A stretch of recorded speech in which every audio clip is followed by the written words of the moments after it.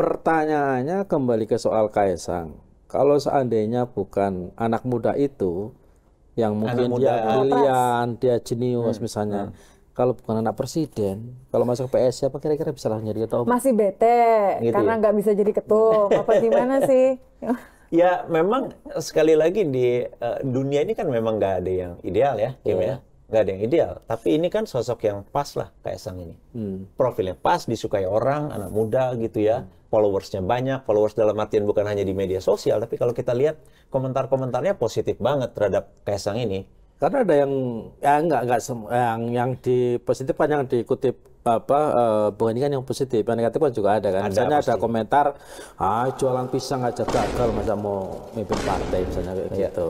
Nah, begini, eh, kalau orang yang terjun di bisnis pasti tahu bahwa misalnya eh, kegagalan itu adalah bagian dari eh, upaya perjuangan merintis bisnis. Ada anak muda masuk ke dunia bisnis, eh, memberi lapangan pekerjaan kepada banyak orang. Itu kan harus dihargai. Itu kan yang kita inginkan. Selama ini kita mendorong entrepreneurship. Ada orang eh, memulai usaha itu ya harus dihargai. Satu dua misalnya eh, eksperimen gagal itu kan biasa. Di dunia bisnis misalnya taruhlah. Tanya aja misalnya siapa eh, pengusaha yang besar gitu ya. Pasti ada ada satu dua yang eh, tidak berhasil ada yang berhasil. Itu kan biasa. Itu bagian dari proses belajar gitu loh. Jadi biasa aja sih sebenarnya Iya, bukan aku loh ya. Ini kalau ngutip orang ngomong loh. heeh. Itu kan dia cuma cuma mengcompare. Iya. Dia tidak mempersoalkan soal anak muda yang berbisnis, tapi dia cuma mengcompare gitu loh. Lalu ngelola bisnis saja gagal, kalau mau mengelola partai, apalagi misalnya nanti mengelola Jadi kita ngomongin soal kompetensi Dulu juga, Wak. kan.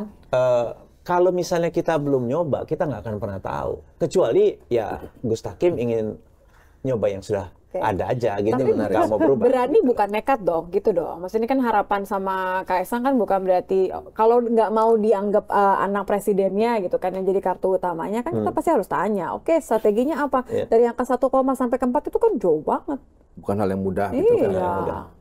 ya strateginya Ah, strategi dong. Boleh kan? oh iya pak iya pasti kan? pertama pertama kan itu kamu gimana sih ngangkat jadi ketua umum itu bagian dari strategi nih Tia masa ditanya juga. Itu bagian dari strategi Iya, iya, untuk memenuhi iya, target lolos ke Iya. adalah long term ya.